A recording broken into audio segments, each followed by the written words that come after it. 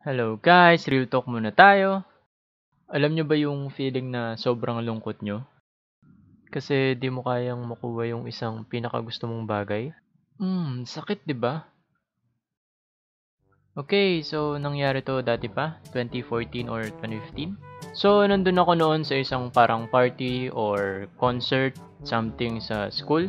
At di ko na masyadong maalala pero alam ko, nakatabi ko nun yung crush ko.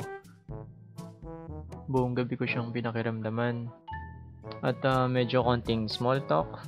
Ah, masaya yung vibes ng lugar, masaya din naman yung vibes namin ni Crush.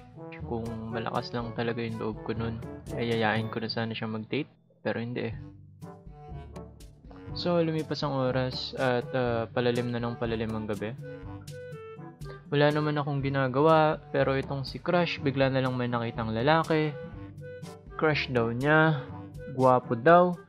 Putya naman, sakit nun. Sakit sa loob-looban ko. Grabe, nang hina loob ko buong gabi. Pauwi, kumain muna kami. Tapos nag-take out ako ng Jollibee hamburger. Nung nasa apartment na ako kasama roommate ko, ang hapdi sa feelings. Napaupo na lang ako. Tinanggal ko isa kong sapatos. Binato pa dabog. Pinuksan wrapper ng burger. Magat ako tapos... Pre, paano ba maging pogi? True story nga pala. Pero real talk ulit, di ko pala kwento to. Nangyari to talaga kay Dash. Happy ending naman, naging sila. Pero, yeah, wala na ngayon. so, yun po ang ating real talk for today. The end.